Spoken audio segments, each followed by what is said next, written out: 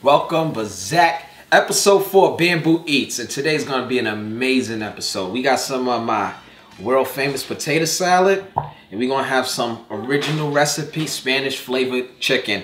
Uh, it's going to be really great. You guys are going to love it. And using my favorite pepper today, poblanos. So uh, I'm going to get these potatoes on boil and I'll see you guys in a few. Bambu Eatz.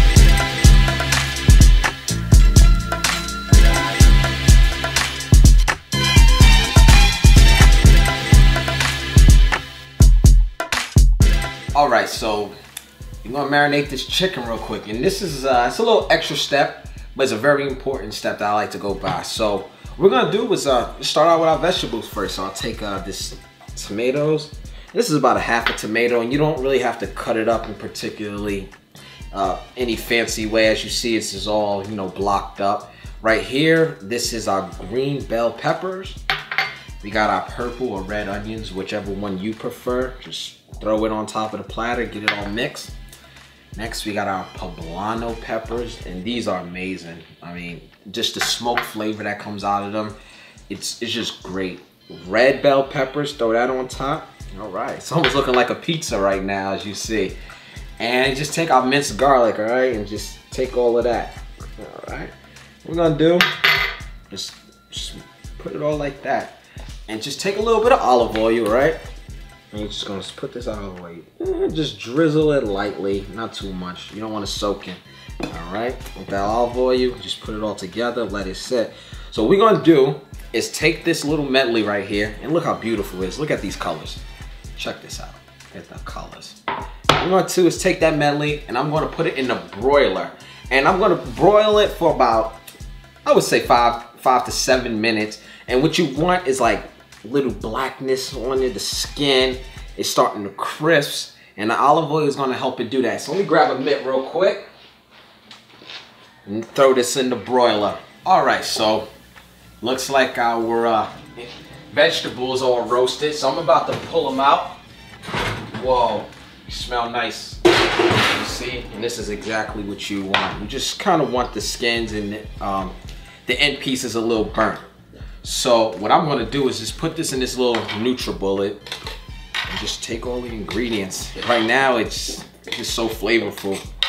It's like roasted vegetables. I mean, that's exactly what it is.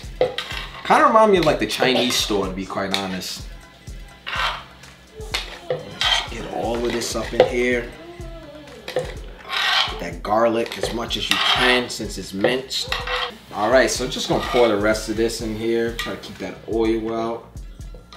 So this point is where you throw in your cilantro. You don't wanna roast the cilantro. So here's my ingredients. So what I'm gonna do, just a couple shakes of salt. See, just a couple shakes, not too much. Just a little bit of pepper. Throw this top on this, and I'll tell you, my little NutriBullet machine be giving me a run for my money, so don't make fun of me if I have a little trouble, okay? Okay.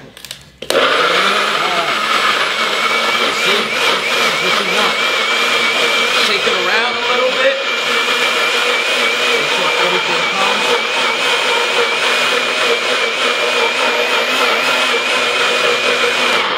All right, we should be good. Right, you see, this is what we got. And you're gonna have to check this out. Let me shake this. Let me show you this. Look at that. Man. That's all flavor right there, all right? So what you're gonna do is I'll take our little piece of chicken breast. All right, these already been washed. The fat's been trimmed. And we're just gonna throw these in here. All right, and just take this whole thing, just pour it. All right.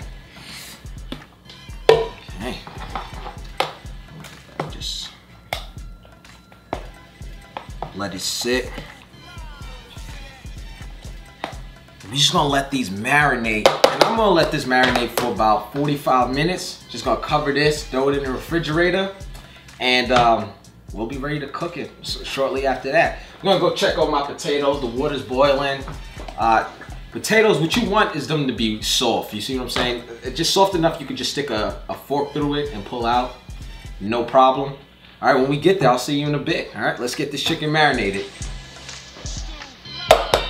All right, so That's how we're gonna do the chicken, all right? We finally here. It's been marinating for about 45 minutes. It smells great. All right, so I just uh, took some extra virgin olive oil, put it around in the pan, and uh, we're gonna place the chicken. All right. All right. Take these three pieces and kind of keep them a little bit separate from each other as much as you can. All right. Now think about when you um, doing chicken or anything, if you crowd the pan, it's not gonna brown. Crowding is the opposite of browning. So give your chicken some space and we're just gonna let it uh, brown on one side first. And just smell those flavors coming at us right now. I mean, this is gonna pair really well with the potato salad on the side. Simple meal, you know, nice little lunch, maybe a dinner, you know, I don't know. However you wanna do with it. And it's just browning. Got, it up a little high right now. And you wanna do is, um, you don't want to really uh, turn it but once each side so this is not something uh, you want to keep turning back and forth so you let this sit there and um, if you could see it'll start whitening all right like you can see right there it's starting to white and that means it's cooking so when it's you know whitening and cooking like that you kind of want it to get about a quarter up and that's when you know your chicken is starting to cook all right so let's just keep going all right man let me just take a sneak peek. You see what's happening? It's cooking. It's cooking. It's coming along. So chicken's a little browned on one side. So what we're gonna do is we're gonna flip. See that? It's nice. All right. So we flip it one time, and I'm gonna let it just uh, cook on this side for about 30 seconds. You know. And what I'm gonna do is see. I took that little marinade right, and the marinade was a bit thick. So you just add a little bit of water, not much at all. I would say maybe like a shot glass worth of water. Just throw it in there, mix it up. All right, so we got about 10 more seconds left. You know, so look at that, man. It's just, it looks beautiful already. All right, so now this is what I'm gonna do. I'm gonna just take the rest of this pour it in here, you see? The rest of that. Right. And just, right Make sure you get that all up in there.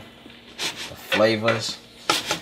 What I do, now I just take that, I sit this on top, and I'm gonna let that cook for a good 10 minutes, all right? When that's done, it's gonna be juicy on the inside, nice and dark on the outside, real flavorful. Pairing that with the potato salad. So while we let this cook and simmer for a little bit, I'm gonna turn this heat to about medium, because you have the top on. And uh, we're gonna get to our potato salad. So what I'm gonna do is I'm gonna grab the potatoes outside of the uh, refrigerator, have to cool them off a little bit, and grab the rest of my ingredients and I'll meet you over at my station, all right? See you in a second.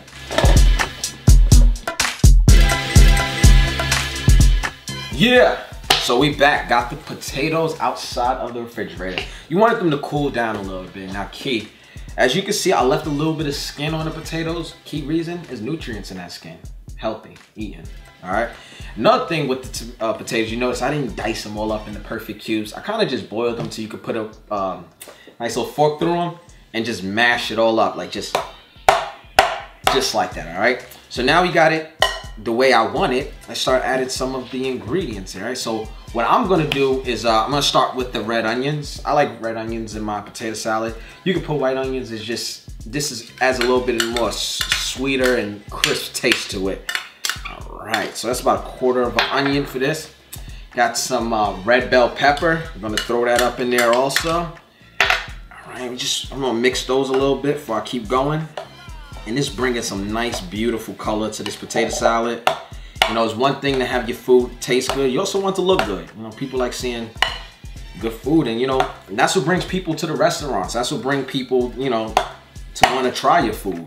Make it look good. All right, you see that? mix that up a little bit, all right? So what I'm gonna do is take a little bit of this pepper, throw that in there. Nice salt, throw that in there. This is garlic powder. I'm not gonna put, just throw it in there like that. And leave a little bit out, all right? And this is my uh, celery seeds. And um, if you don't want to use celery seeds, you could actually chop up celery stalk and just throw it in there too. But I just like the kick that the celery seeds give. It's just a little bit more flavor just blasting, you know? And you just mix that up a little bit. It's, so you see, I mix all my dry ingredients for the most part first, except for paprika because that's the last step for this, all right? So, here it goes. One and a half cups of mayo. Yeah. Get all of that in there. Make sure you get your all right, another half cup of mayo. We're gonna do, let me get the rest of that out the half cup. All right, now this, it's a little hassle, you know. You gotta have a little muscle for this part, be honest with you. You just mix that all together. Uh, bring that in. Okay. Yeah, like I said, this ain't the prettiest part. But there's some damn good potato salad, I'll tell you that much. So we got the mayonnaise mixed up a bit. Take about a third of a cup of some mustard and throw that in there also. Mustard bring nice little tang. Got a little mustard on my hand right here. I'm gonna get that cleaned up in a bit. Like I said, we just still mixing, still mixing. So we getting all that together. And as you see, it's starting to really come together. Okay. All right We got that going.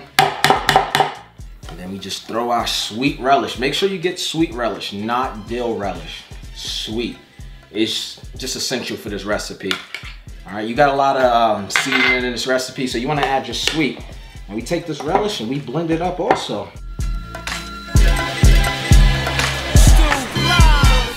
And what I'm going to do real quick is I got some eggs boiled I'm gonna chop them up, throw this in there real quick, and I'll be right back. Get my eggs real quick. So I added the chopped up eggs in the mix and uh, mix it all up now. So the last step for this potato salad is simple. You just take this paprika and you just sprinkle it. You know, just different spots, just like that. No need to mix. It's mostly just for presentation red marks. That's about it right there. So what I'm gonna do right now is uh, I'm gonna get my chicken, get the potato salad, I'm gonna plate up and we're gonna have a guest come through and taste it. Smelling good and looking good, so just gotta see the final test. All right, so what I'm gonna do is I'm gonna plate real quick and I'll meet you guys here in just a few minutes, all right?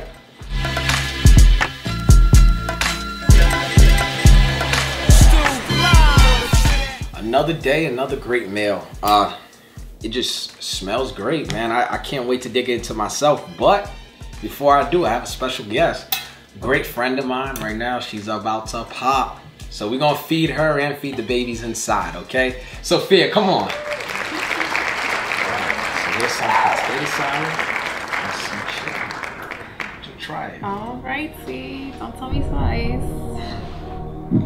Do I do it together? You could. All right, it's up to you.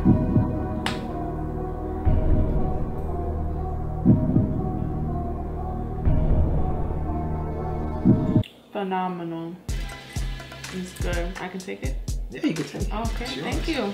Hey, you heard it there, man. Another great day. Bambu Eatz. Make sure you check us out. We got some more dishes coming. Check the previous videos that we had before. And the uh, ingredients and uh, everything, you know, the measurements for all the ingredients is in our description. All right, so make sure you like the page, like the DMS page, and I'll see you guys next week. Peace.